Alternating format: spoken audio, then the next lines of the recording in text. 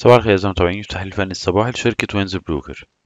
هيقدمه لكم كريم مجدي اليوم 10 أغسطس 2021 وهنتكلم مع بعض في الفيديو بتاعنا عن زوج اليورو مقابل الدولار الأمريكي.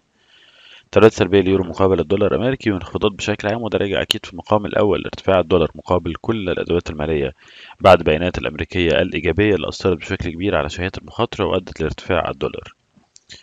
امبارح ما كانش عندنا بيانات هامة غير فرص العمل. ال JOLTS الشهري لشهر يونيو اللي جه بنتيجة أفضل من المتوقع 10 مليون 73 ألف. والنهارده في انتظار بيان طبعا هام هو مؤشر ZEW لمعنويات الاقتصاد الألماني.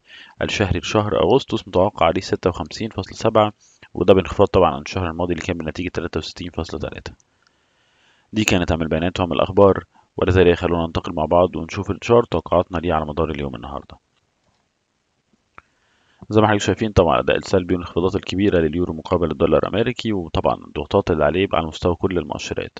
أداء سلبي على ال EMA تقاطع المتوسطات السعرية الأسفل وثبات السعر أسفلهم وثباته أسفل نقطته السبعتاشر خمسة وأربعين. أداء سلبي على مؤشر ال SAR على مؤشر ال Stochastic وحتى مؤشر ال flat trend ولذلك نتوقع مزيد من الأداء السلبي ولكن بشرط كسر سبعتاشر عشرين علشان يروح خمسة وتمانين وراها ستاشر خمسين. مرة تانية كسر العشرين وراها الخمسة وتمانين وراها الخمسين.